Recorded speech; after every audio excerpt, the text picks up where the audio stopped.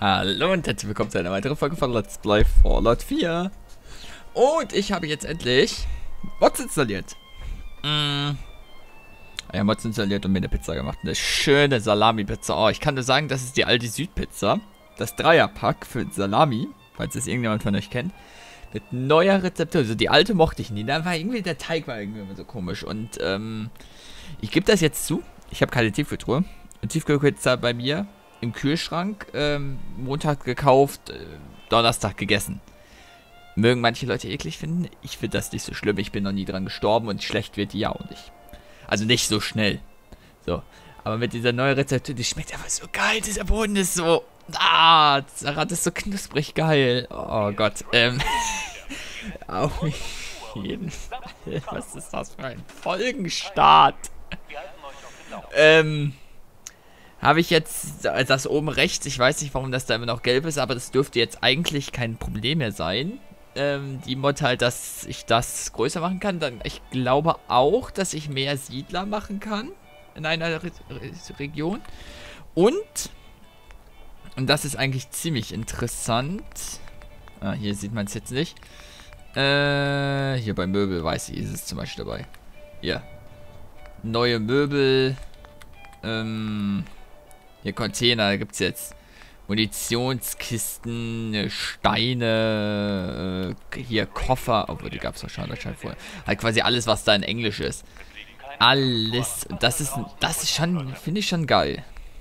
Ähm, die ganzen Sachen hier, alles dabei. Bürodinger, Schreibtische, seht ihr ja. Ähm, auch richtig große Sachen. Campfire kann ich auch machen anscheinend, wie ich gerade sehe. Ähm, also auch viele Sachen, die ich jetzt selbst noch nicht gesehen habe. Hantelbank, Hantelbank, ist ja lustig. Fitnesscenter kann ich ja eigentlich auch mit reinbauen. Soll ja ein Einkaufscenter werden, ne? Ähm, hier selbst bei Energie, bei den Generatoren sind da so riesen Dinger drin. Ne? Ähm... Laufschrift? Aha. Interessant. Ähm. Oder auch, ähm, wo war das denn, was ich hier gesehen habe? War das Homemaker? War das hierbei? Wobei, das ist, glaube ich, auch nochmal ein anderer ähm, Mod. Das ist auch, das sind ganze Häuser nämlich drin, wie ihr seht hier. Das ist, meine ich, eine andere Mod. Hier seht, seht ihr, das solche hier. Äh, Strom, ich weiß nicht, wie die heißen, Strommasten, Leuchttürme. Äh, ich kann hier einen zweiten Radiotower machen, Satellitenschüsseln. Also, da ist schon echt extrem viel. Und das finde ich halt mega geil hier, Walt. Alter, das finde ich so geil. Da werde ich hier mit diesen Dingern, werde ich so extrem viele im Einkaufscenter arbeiten. Und auch, wie ihr seht, ähm, die roten Markierungen sind weg. Es gibt keine roten Markierungen mehr, was ich äußerst geil finde. Ähm, ja, allein solche Treppen, sowas an, das ist geil. Super geil. Ähm, also da können wir extrem viel bauen, wie wir sehen. Äh, die Arbeit in den Aufzügen hat sich leider nichts geändert. Hier bei den Türen alleine da, wie viel da neu ist. Ähm, solche Castle Doors und Cell Doors und Diner Doors und Garagentüren und alles. Alles. Ähm, und theoretisch könnte ich sogar das Klo jetzt machen, weil ich sogar ein öffentliches Klo dabei habe. habe ich jetzt aber gerade noch keine Lust dazu. Ist aber auch noch nicht so schlimm. Ähm, und die Bauhöhe habe ich auf unbegrenzt gemacht. Weil ich das als wichtig angesehen habe. Ach genau, und äh, was ich hier gerade sehe, haha. Ne, genau. Äh, Schutz. Da gibt es jetzt. Das muss ich mal laden. Hier. Protectons und, äh, achso. Hier. Mr. Götzi, Mr. Handy, Assault Ones, Sentry Bots, äh, also Day Protector Bots, Pots. Also schon extremst geil, was da alles bei ist. Carrot Planter, solche Dinge. Corn Planter, das ist schon mega übertrieben geil. Ähm.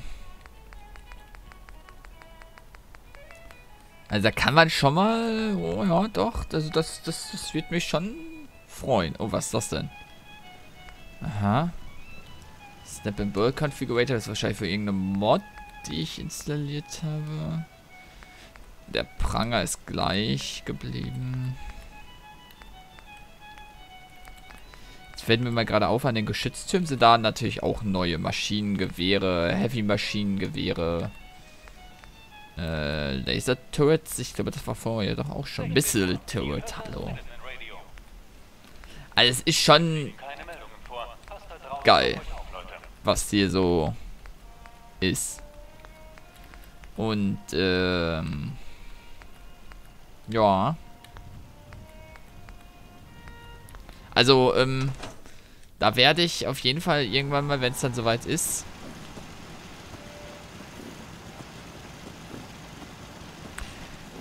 kräftig, kräftig, kräftig ausbauen. Aber jetzt haben wir erstmal über Aldi Pizza und Quests geredet. Dann kann ich ja... Da habe ich schon markiert. Die nächste Quest weitermachen. Zu Gallery Pikmin gehen. Und das machen wir ab dem Mars Fusion Gebäude, würde ich sagen.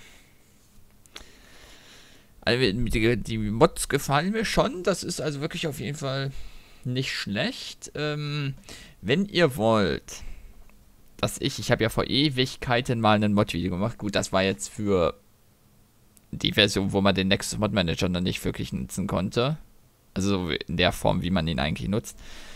Ähm, aber wenn ihr wollt, dass ich ein Video mache, wie, ich wie man Mods installiert oder was für Mods es gibt, ich kann auch äh, so eine ähm, extra Reihe neben Fallout machen, ähm, wo ich Mods vorstelle. Das würde ich auch super gerne machen. Ähm, schreibt es einfach und ich äh, gucke dann mal, wie ich es einplanen kann.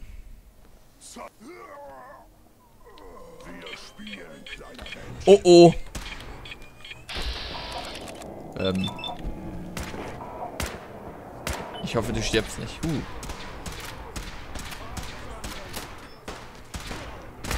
Na. Das ist jetzt aber... Holla die Waldfee. Eine Spiked Plant. Eine Mediatombombe. Ah, ja. Befehle der Supermutanten. Was?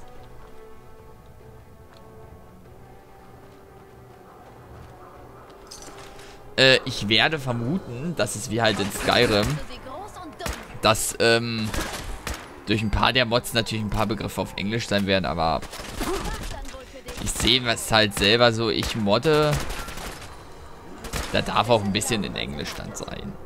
Das, wie wir ja sehen, das meiste ist immer noch in Deutsch. Also, äh, ist das auch nicht so dramatisch. Schon immer so viel Mais dabei? Hm. Ähm, ich laufe aber eh in die falsche Richtung. Ich wollte hier lang. Ähm.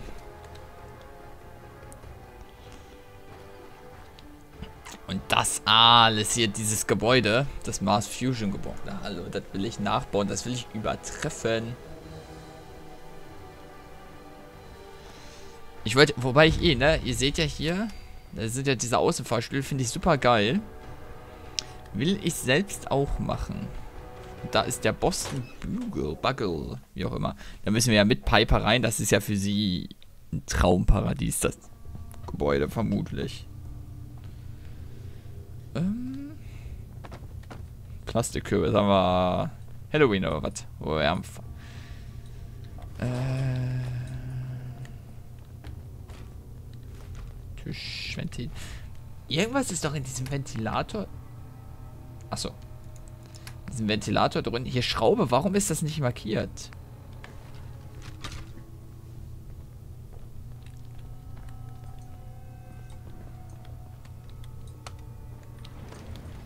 Oh.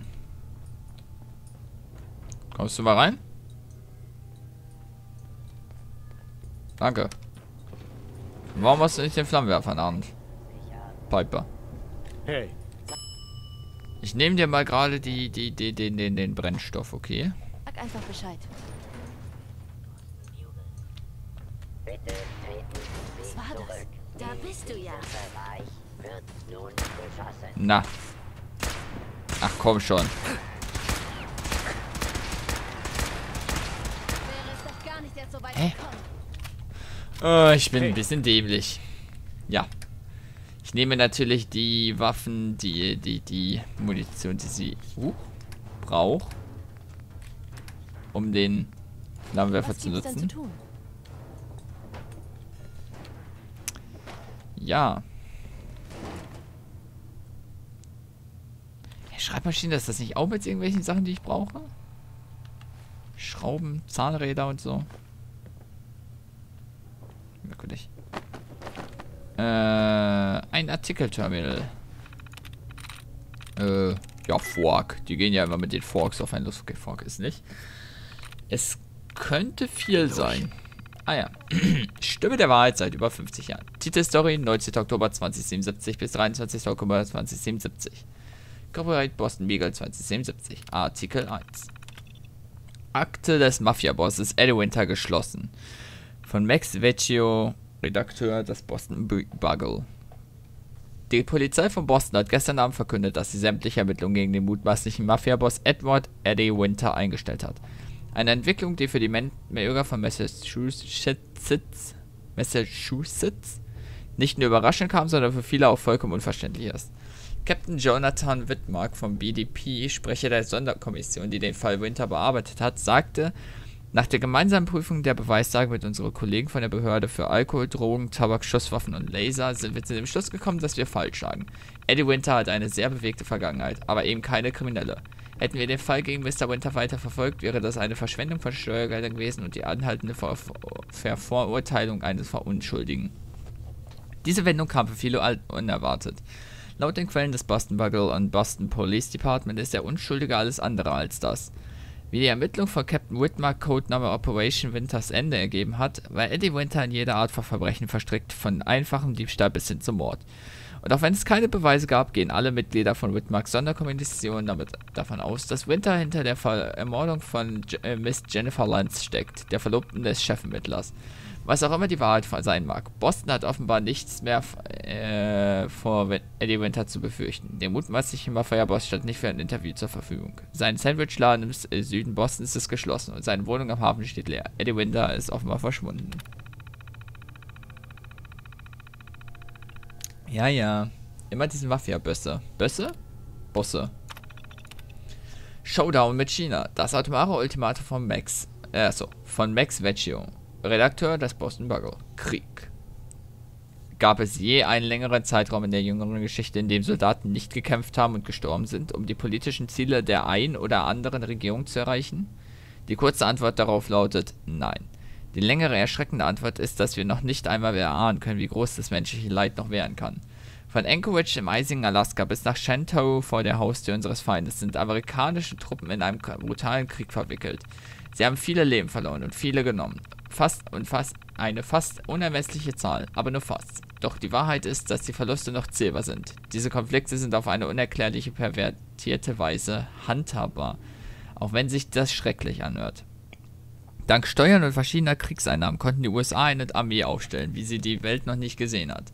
Das gleiche gilt aber auch für unseren Todfeind China. Und mit jedem ausgegebenen Dollar kommt die Flagge, äh, kommt die Frage, wofür dieser Dollar ausgegeben wurde. Jede Kugel, jede Bu- äh, bunkerknackende Bombe, jeder Leichensack, sobald sie im Krieg benutzt werden, wissen wir alle wann und wo. Aber die traurige und offensichtliche Wahrheit ist, dass die Tage des beherrschenden Kriegs bald vorbei sein werden. In den Köpfen der großen Anführer dieser Welt wurde diesen Milliarden von Dollars nicht nur ausgegeben, sie wurden verschwendet. Denn hier stehen wir, nach zehn Jahren des Krieges, ohne Ende und ohne Gewinner, im Sicht. Welche Option bleibt den Supermächten aus, also noch außer den nuklearen? Und genau das ist es, das Problem. Denn wenn China oder die USA ihre Atomraketen starten und ihre Atombomben abwerfen, dann wird niemand mehr da sein, um die Verluste zu zählen. Niemand, der eine Seite zum Sieger erklären kann. Und so bleibt nur eine Frage. gibt es eine Möglichkeit, wie die Supermächte die atomare Apokalypse verhindern können. Wenn es noch Hoffnung in der Welt gibt, dann müssen wir daran glauben, dass die Antwort Ja lautet. Aber wir leben in einer Zeit ohne jede Hoffnung. Ähm, ja, das ist traurig, dass das so quasi vorhergesehen wurde, aber es ist halt wahr. Artikel 3. Hungerkrawalle in Boston gehen weiter. Von Buster Connolly, Redakteur der West Boston Bugle. Am Freitag spielten sich in Boston absolut höllische Szenen ab, nachdem Soldaten des 184. Infanterieregiments der US Army das Feuer auf unbewaffnete Zivilisten eröffnet hatten. Zuvor hatte ein Unbekannter die Scheibe der Tafel von Roxbury eingeschlagen, was dazu führte, dass mehrere Personen aus der Schlange in das Gebäude stürmten. Gestern Abend wurde bestätigt, dass mindestens vier Menschen getötet wurden. Acht weitere sind verletzt. Jonathan Corman, Sprecher der US der Army, wiederholte allerdings, dass die Soldaten entsprechend der Vorschriften gehandelt hätten. Die Soldaten haben mehrfach deutliche mündliche Warnung ausgesprochen. Die Leute wussten genau, was passieren würde, wenn sie die Schlange verlassen, um die Tafel zu plündern. Hunger ist keine Entschuldigung für zivilen Ungehorsam, Vandalismus oder wie in diesem Fall das Anstacheln zu Krawallen, durch die das Leben jedes Zivilisten in diesem Gebiet in Gefahr gebracht wurde. Die US Army hat die Aufgabe, in diesen schwierigen Zeiten für Ordnung zu sorgen und genau das ist auch hier geschehen. Ich möchte außerdem noch einmal betonen, dass die Soldaten des 184. Infanterieregiments seit zwei Tagen keine Ration mehr erhalten haben. Diese Männer und Frauen wissen also sehr genau, was Hunger bedeutet. Diese Reaktion kennt das amerikanische Volk nur zu gut, denn gewalttätige Szenen wie die in Roxbury haben sich wieder und wieder im ganzen Land abgespielt. Die hungernde Bevölkerung versucht verzweifelt, an Lebensmittel zu kommen. Und ebenfalls, wie so oft zeichnen äh, Zivilisten, die Zeuge dieser sogenannten Krawalle werden, ein ganz anderes Bild der Situation. Die 85-jährige Hannah Manry stand in der Schlange vor der Tafel und behauptet, dass die Soldaten alles andere als Ordnung und Freiheit im Hinsinn hatten. Sie haben gelacht. Sie haben Witze darüber gemacht, wen sie zuerst erschießen werden. Es war alles nur ein Spiel für sie. Die Soldaten haben vielleicht erst geschossen, nachdem dieses Fenster zu Bruch gegangen ist, aber sie haben sich schon darauf gefreut. Man kann nur hoffen, dass der Vorfall in Roxbury der letzte dieser Art sein wird, den unser, den unser Land verkraften muss. Aber solange Amerika nicht die Kraft findet, die innenpolitischen Entscheidungen in Frage zu stellen und die Bevölkerung zu ernähren, sieht die Zukunft düster aus. Make America great again. Ja, und ähm, das ist halt wirklich so. Bei Krawallen oder äh, nicht bei Krawallen, bei, bei Hungersnöten und Co.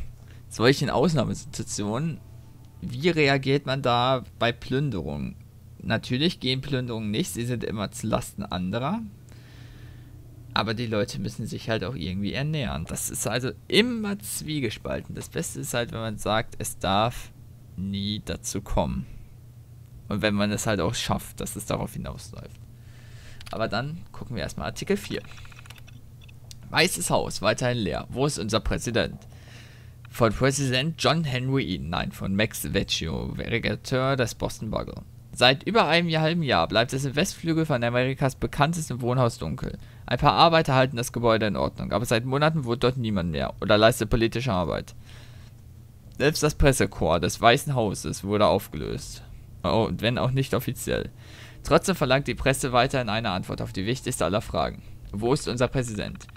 Zunächst wurde angenommen, dass die gesamte Regierung der USA nach Raven Rock verlegt wurde, einer militärischen Einrichtung in einer Bergregion von Pennsylvania, einige Meilen südwestlich von Camp David in Maryland. Weitere Forschungen haben allerdings ergeben, dass der, äh, weder der Präsident noch eins seiner Kabinettsmitglieder im letzten Jahr in Raven Rock waren. Wenn das nicht in Raven Rock, wo dann? Nach einer umfassenden und eingehenden Recherche hat der Boston Bugle die Antwort auf die Frage gefunden. Und die werden unsere Leser sicherlich als gleichermaßen schockierend und befremdlich empfinden. Der Präsident führt unser Leben von einer Poseidon-Energie-Ölplattform aus, die vor der Küste von San Francisco liegt.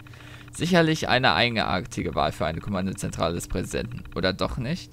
Nicht zumindest so sehr, wie es aussehen, äh, wie es zunächst den Einschein, Anschein haben mag. Laut der Aussage einer gut informierten Quelle trägt die Ölplattform die Bezeichnung Kontrollstation Enklave, was die langanhaltenden Gerüchte über eine geheime militärische Schattenregierung stützt, die Enklave genannt und im Falle eines Atomkriegs die Kontrolle über die USA übernehmen würde. Das Geheimnis unseres verschwundenen Präsidenten würde also endlich gelüftet. Aber hat der Boston Bugle damit auch Beweise aufgedeckt, dass die Welt kurz vor dem Abgrund steht und durch einen Atomkrieg vernichtend werden wird? Das Schweigen des Präsidenten spricht hier wohl leider Bände. Und ich finde es da wiederum sehr lustig, wie da wieder auf die feurigen äh, Fallout-Teile eingegangen wird mit der Ölplattform vor San Francisco. Ist ja ein DLC in Fallout 3, wenn ich mich nicht täusche. Ne, müsste Fallout 3 sein. Artikel 5. Boston auf dem Weg zum ersten World Series Sieg seit 1918 vor Boston Connolly. Wie jedem Bostoner nur allzu schmerzlich bewusst sein dürfte, ist es 159 Jahre her, dass die Stadt seinen Sieg in der World Series feiern konnte. Ob Strikes, Fehler im Außenfeld oder ein Ball, der einem Spieler durch die Beine kullert. Niederlagen sind seit Jahren unsere ständigen und liebsamen Begleiter. Aber nicht mehr lange. In einer der spannendsten World Series seit Jahrzehnten konnte Boston eine 3 zu 0 Texas aus, äh, ausarbeiten. Betting, Fielding und Pitching sind perfekt ausbalanciert und vor allem dank des legendären Trainers Dusty Wilder. Und haben was? Und haben dem äh, diesjährigen Team damit zum ersten Mal seit ewigen Zeiten eine Chance auf den Sieg eröffnet. Noch ermutigender als die Tatsache, dass das vierte Spiel hier in Boston stattfinden wird, ist, dass das Team noch nicht auf den Star Pitcher Matt The Missile Murtaugh zurückgreifen musste. Mit ihm auf dem Mount sagen einige nicht nur einen klaren Sieg für Boston voraus, sondern sogar eine zu Null Klatsche für Texas. Ja, Seit Jahren haben die Stände in Boston Baseball-Fans mit Bier, Hotdogs, Erdnüssen und bitteren Niederlagen versorgt. Aber am Samstag, den 23. Oktober 2077, wird nur höhere Gewalt oder eine vom Menschen ausgelöste Katastrophe Boston noch den Sieg streitig machen können. Morgen, meine Freunde, wird das Unvorstellbare wahr werden und das Leben in Boston wird nie wieder so sein wie früher. Und das hat es zwar getroffen, allerdings auf eine ganz andere Art als man es sich gewünscht und erwartet hat. Was ist hier? Ach so, da ist gar nichts. Das ist ja super. Hm. Was ist hier noch? Man kommt sich gar nicht vor wie in einem Hochhaus, sondern eher als würde ich in irgendeinem Keller sein.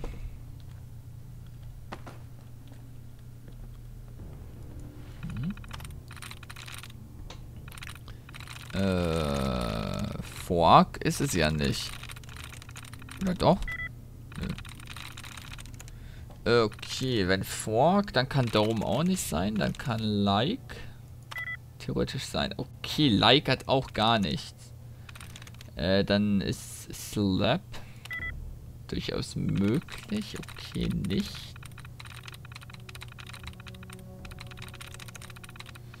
Äh... Da ist eine Klammer. Hm.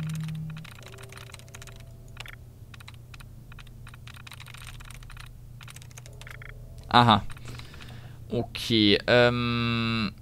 Slap, Fork und Like sind es nicht. Kann es Cave sein? Nein, Cave kann es nicht sein. Ages ist cool. durchaus möglich, okay. Sind das dieselben Artikel? Yo. Ich wollte nur noch mal sicher gehen, warum ist Seife und... Ich brauche dieses scheiß Öl als Markierung. Oh. Das geht so gar nicht, wie das jetzt ist. Dass ich mir Öl nicht markiere. Also, dass das nicht markiert ist. Wow.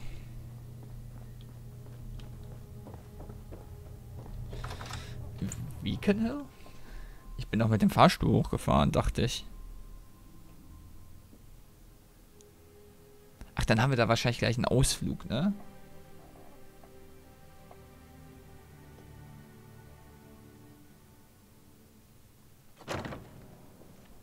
Aha.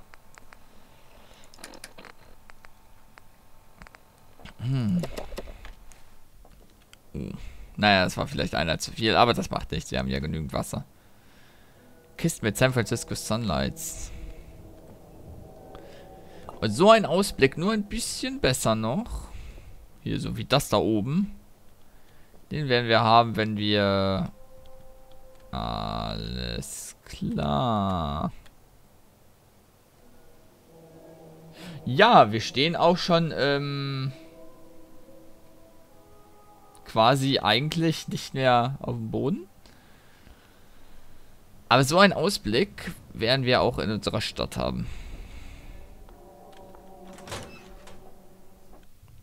Also in, in der Burg, in dem Einkaufszentrum.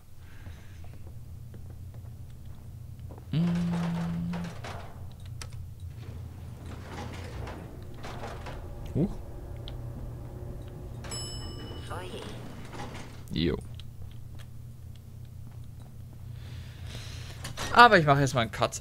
Bis dahin und tschüss.